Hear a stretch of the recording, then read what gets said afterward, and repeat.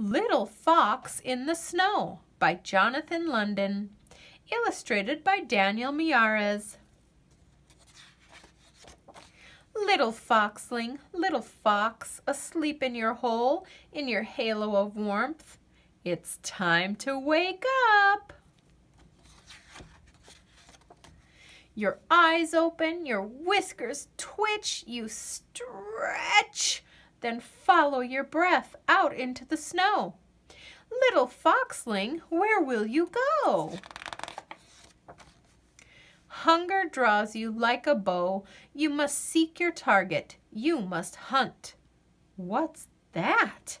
Your head tilts, your ears swivel, tiny footsteps beneath the snow. You crouch. You pounce. As sure as an arrow, you pierce the surface. And pop up with a mouse. Little fox, you cannot satisfy your hunger with just a mouse. More, your belly cries, more. Little foxling, where will you go? You flow like a shadow across the fields. You leave little paw prints behind in the snow.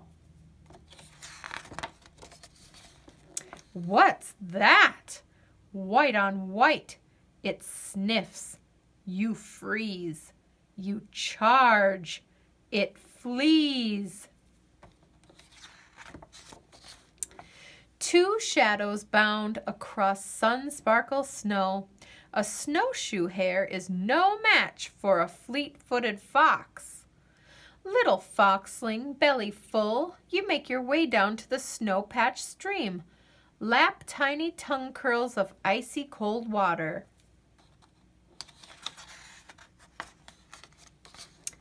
Back up the bank by the trunk of a tree, you stop, you sniff.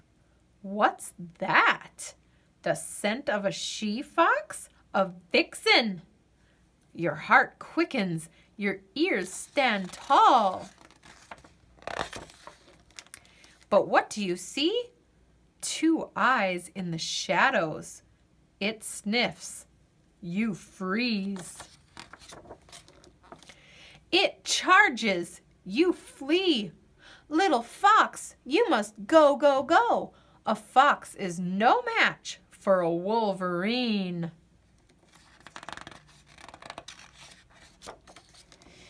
You're a blur of fur across the snow. The sinking sun sets your coat aglow. Wolverine's eyes flare up like struck matches, but you follow your breath down into your hole. Now curl up safe, your breathing slows, and go back to sleep in your cozy burrow. Little foxling, what do you dream? Of the bushy-tailed she-fox leaping in the moon glow? Of your own little fox family playing in the meadow? Little foxling, little fox, safe in your hole, Tomorrow you will go back out into the snow. But tonight you can rest in your halo of warmth. Good night, little fox. The end.